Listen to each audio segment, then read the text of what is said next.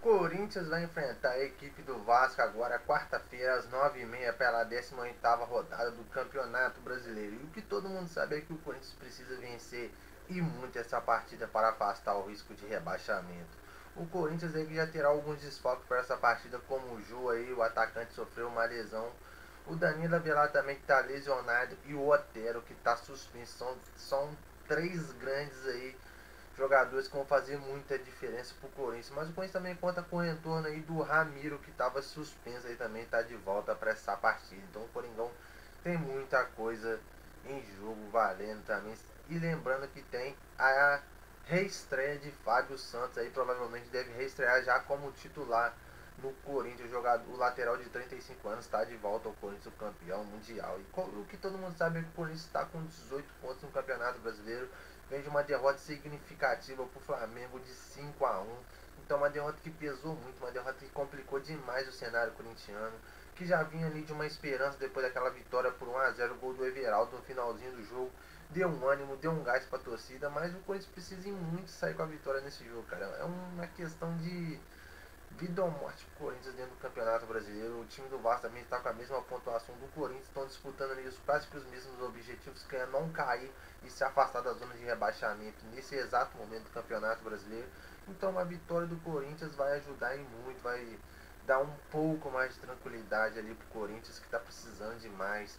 Também vamos ter aí, acho que ao que tudo indica, o Cássio vai estar tá no gol de novo. O Cássio que vem sendo muito cobrado pela torcida corintiana, ainda mais depois dos 5 a 1 e vai declaração para lá e declaração para cá e torcedor pressionando de lá e de cá e a coisa não tá muito legal ali na defensiva do Corinthians. No jogo contra o Flamengo, o Corinthians teve até que um time bem ofensivo ali buscando o gol, tentando, criando, mas na parte defensiva foi muito cobrado e não conseguiu corresponder à altura os jogadores do Flamengo passando com muita facilidade na defesa. Espero que esse jogo contra o Vasco não seja assim. O Vasco tem um atacante muito perigoso, que é o Germano Cano, que pode aí resolver o problema vascaíno muito rápido e acabar aí com as esperanças do Corinthians. Vamos torcer que todo mundo esteja no bom dia, que o Corinthians entre em campo ali da melhor forma possível, que o torcedor possa dormir com a cabeça relaxada, com a cabeça tranquila. Uma vitória hoje vai ajudar muito o nosso Coringão aí nas suas metas dentro do Campeonato Brasileiro.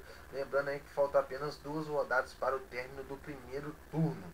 E seria muito legal se fosse conseguisse, pelo menos nesses dois últimos jogos aí, embalar uma sequência de vitória que não conseguiu esse ano ainda. Com isso não conseguiu vencer dois jogos no Campeonato Brasileiro.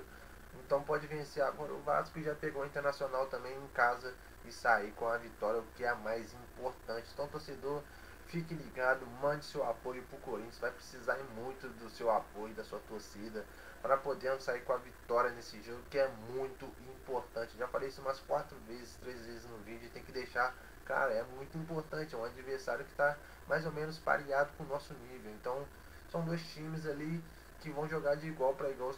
Basicamente, acredito que esse jogo deve ser 1 a 0 ou 2 a 1 Corinthians, acredito, torço para que seja por isso, mas também tem cara de ser um 0 a 0 ou 1 a 1 aquele jogo mais morno, em que os dois times aí fazem um ataque no momento de pressão.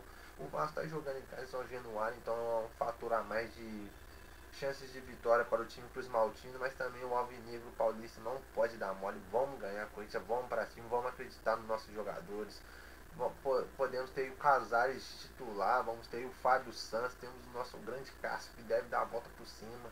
Vamos acreditar, talvez ali no ataque tá a dúvida entre o Bozé e o Luan, é provável que entre com o Bozé e o Luan no segundo tempo.